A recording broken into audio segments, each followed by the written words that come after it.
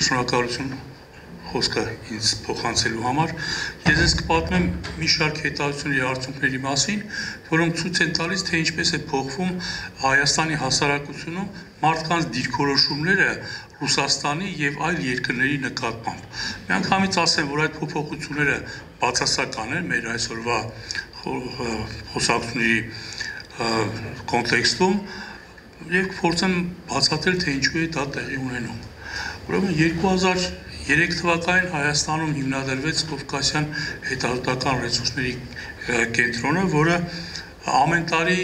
համահայկական հետազոտություն է կատարում շատ լայն կոնտեքստում եւ այդ թվում նաեւ թե ինչպիսին է Հայաստանի հասարակությունում տրամադրվածությունը, ասենք Ռուսաստանի, եվրոպական երկրների տարբեր տիպի ինտեգրացիոն միավորների նկատմամբ։ Ուրեմն հետազոտությունները ցույց էին տալիս, որ ընդհանուր մինչև 2013 թվականը Ռուսաստանի նկատմամբ դիրքորոշումները Հայաստանում շատ բարձր էին բնակության 80%-ից ավելին միշտ համարում է, որ Հայաստանի համար մեկ քաղաքական դաշնակիցը Ռուսաստանն է, համար մեկ տնտեսական դաշնակիցը Ռուսաստանն է։ Եթե փորձեինք համատել Ռուսաստանի եւ այլ երկրների կապամ դիրքորոշումներ, ապա Ռուսաստանը անվերապահորեն հաղթում էր ցանկացած ուրիշ երկրի։ Սակայն 13 թվականից հետո միտումները սկսեցին աստիճանաբար փոխվել։ Ուրեմն Ես ցանկանում եի ձեզ ցույց տալ տարբեր գծապատկերների թվեր, որպես դուք ակնառու տեսնեիք, թե ինչ է տեղի ունենում եւ ինչպես է տեղի ունենում, բայց ցավոք համակարգիչը խնդրեմ ունի, այդ պատճառով ես կպատմեմ, որոշ թվեր կասեմ, որոշ թվեր չհիշելու պատճառով մոտավոր կասեմ, բայց այնուամենայնիվ ընդհանուր միտումն է կարևոր, որպեսզի հասկանանք մենք այդ ընդհանուր միտումը։ Ուրեմն Երբ որ գնահատում են հասարակության դիրքորոշումները տարբեր երկրների նկատմամբ, կա երկու հիմնական մոտեցում։ Առաջինը, երբ յուրաքանչյուր երկրի մասին են հասարակության կամ մարդու դիրքորոշումը գնահատում, ինչպես է օրինակ հարց է տրվում, ձեր կարծիքով այսինչ երկիրը Հայաստանի համար բարեկամ երկիր է, թշնամի երկիր է, թե չեզոք երկիր է։ Եվ յուրաքանչյուր երկրի համար, որը մեզ համար հետաքրություն է ներկայացնում, ստանում ենք այդ թվերը։ Եվ երկրորդ մոտեցումը, երբ մարդկանց հարցում ես ո՞րն է Հայաստանի ամենա առաջին բարեկամը կամ դաշնակիցը, իսկ հետո հարցնում է, իսկ ո՞րն է Հայաստանի համար ամենամեծ թշնամին։ Ուրեմն, երբ առաջի ձևով են հարցը տալիս, ապա պարզվում է, որ Ռուսաստանը նորից միշտ եղել է առաջի դիրքում եւ մինչեւ այսօր մնում է առաջի դիրքում։ Սակայն աստիճանաբար Հայաստանն էր մոտենում սկսած 2011 թվականից Ֆրանսիան ավելի ու ավելի շատ մարդիկ էին համարում, որ Ֆրանսիան Հայաստանի նկատմամբ բարեկամական երկիր է, օրինակ 2014-2015 թվականներին բնակչության 88%-ը համարում էր, որ Ռուսաստանը բարեկամ երկիր է Հայաստանին, ուշադրություն դարձեք 88%-ի հակառակը 12%-ն է, այսինքն կար բավականաչափ ոչ փոքր հատված, ովքեր Ռուսաստանի նկատմամբ կամ բացասական կամ չեզոք դիրքորոշում ունեին։ Իսկ Ֆրանսիան համարում էին բարեկամ երկիր մոտավորապես 80%, այսինքն մոտ 10%-ով քիչ, սակայն Ֆրանսիային թշնամի համարող բնակչություն համարյա չկար, չեզոք համարումները ավելի ավելի շատ էին։ Հիմա ինչ սկսեց տեղի ունենալ 2013 թվականից հետո։ Ռուսաստանին երբ հարցը սկսեց տրվել հետեւյալ կերպ, ո՞րն է Հայաստանի համար մեկ բարեկամը, ապա Ռուսաստանի նկատմամբ դիրքորոշումը սկսեց աստիճանաբար նվազել, իսկ Ֆրանսիայի նկատմամբ դրական դիրքորոշումը սկսեց աստիճանաբար աճել։ Սակայն դա տեղի չէր ունենում շատ པարզունակ ձևով։ Ուրեմն ինչ էր տեղի ունենում սկզբում նախ աճում էր այն մարդկանց քանակը, ովքեր համարում էին, որ Հայաստանը բարեկամ երկիր չունի։ Սա տեղի էր ունենում 2014 թվականից ցած 2016 թվականի քարորիա պատերազմից հետո այն հզոր ինֆորմացիոն ալիք բարձրացավ, որ ահա մեզ չօգնեցին եւ այլն, այստեղ հավաքված մարդիկ բոլորները շատ լավ ցանոթ են դրան, այդ պատճառով եւ չեն չեմ ցանրան մանրամասների վրա։ Եվ այդ ազդեցությունը իրոք սկսեց փոփոխել մարդկանց դիրքորոշումները 2018 թվականից դիրքորոշումները ավելի արագ սկսեցին փոխվել եւ պարզվեց հետեւյալը. Սկզբում Ռուսաստանի նկատմամբ բացասական դիրքորոշումների ինֆորմացիոն դաշտում շատ մեծ ինտենսիվությամբ տարածումը բերեց նրան որ Ռուսաստանի նկատմամբ սկսեց խարխրվել ռուսական Ռուսաստանի նկատմամբ դրական դիրքորոշումը եւ սկսեց դրա փոխարեն ոնց որ դաշտներ ազատվում որ Հայաստանը չունի չունի որևէ դաշնակից երկիր։ Իսկ դրանից 4-5 տարի հետո սկսվեց արդեն հաջորդ փուլը։ Դատարկ տեղը երկար ժամանակ դատարկ չի մնում եւ Ռուսաստանին սկսեց տեղակալ, տեղակալել Ֆրանսիան։ Եթե մինչև 2013 թվականը Ֆրանսիան համարում էին Հայաստանի համարում եք բարեկամ երկիրը մոտավորապես 5%-ը բնակության, ապա 2019 թվականին արդեն 17%-ը։ Եթե Ռուսաստանին համարում եք բարեկամ երկիր էին համարում 2013 թվականին 81%-ը, ապա 2019 թվականին ընդամենը 57%-ը, ինչպիսի մեծ փոփոխություն է տեղի ունեցել։ Իսկ նրանք, ովքեր որ համարում են, որ Հայաստանը ոչ մի բարեկամ երկիր չունի,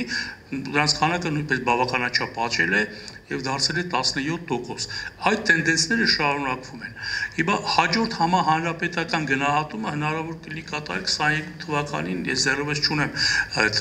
հաջորդ կետի գնահատականները, բայց տենդենսները ցույց են տալիս, որ ըստ երևույթին իրավիճակը ավելի է փոխվելու ի վնաս Ռուսաստանի նկատմամբ դիրքորոշումների եւ Ֆրանսիայի նկատմամբ դիրքորոշումների։ Ինձ մոտ փոքրիկ հնարավորություն առաջացավ իմ ուսանողների ուժերով իրականացնել Երևանում փոքրիկ հետազոտություն եւ քանի որ ռեսուրսները շատ փոքր էին, ես կենտրոնացա մի կարևոր հարցի վրա։ Ինչու է նվազում Ռուսաստանի նկատմամբ դրական դիրքորոշումը եւ ինչու է աճում Ֆրանսիայի նկատմամբ դրական դիրքորոշումը, որտեղ մնացած հարցերը երկրորդական էին եւ բխում էին այդ երկու հիմնական հարցերից։ Ուրեմն բացի քանակական թվային տվյալներից ուսումնասիրվեցին նաեւ մարդկանց կոնկրետ պատասխանները, բովանդակային պատասխանները, թե ինչու է դա այդպես որից հետո այդ պատասխանները վերլուծվեցին եւ դուրս բերվեցին մտավոր քարտեր են կոչում կամ ասում մենտալ քարտեր են կոչում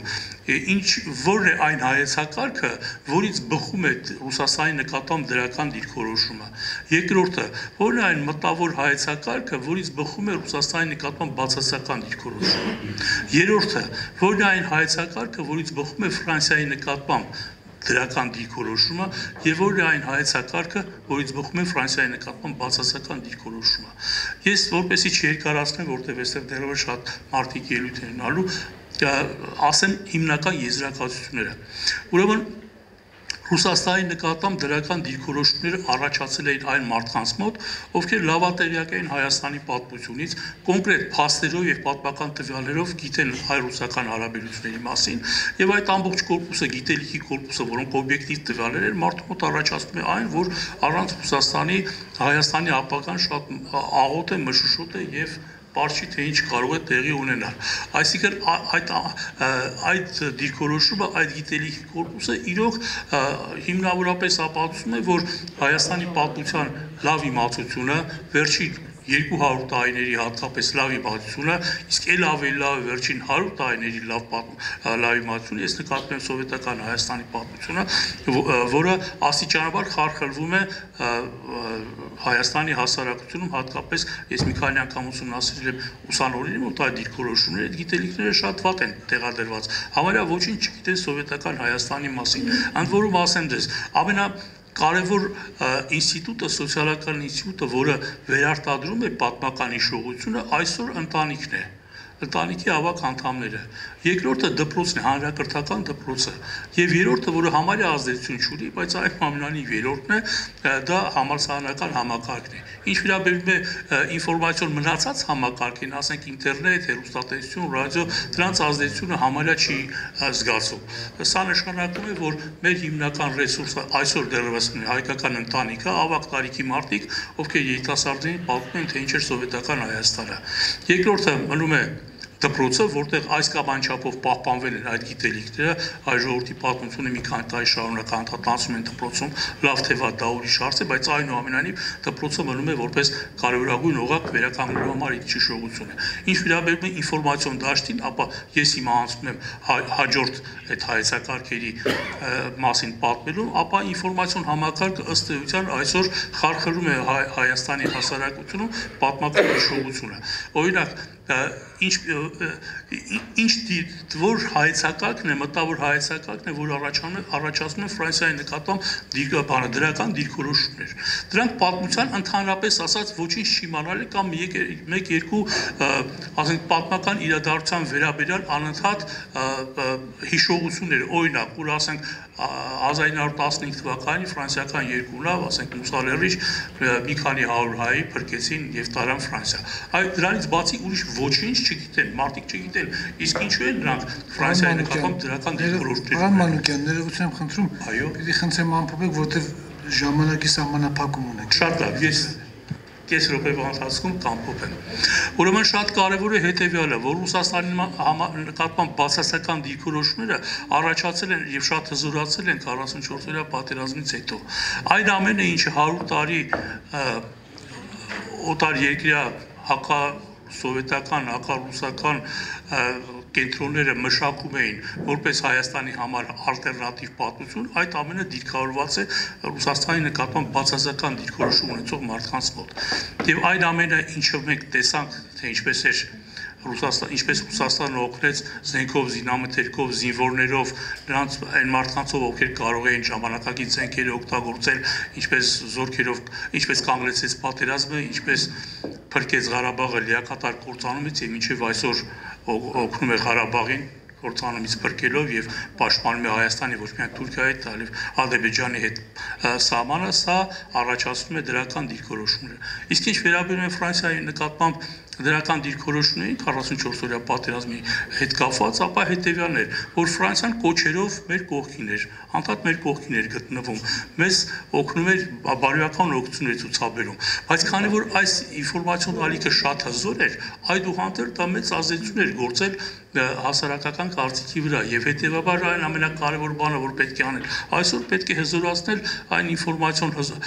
աղբյուրների հնարավորությունները որոնք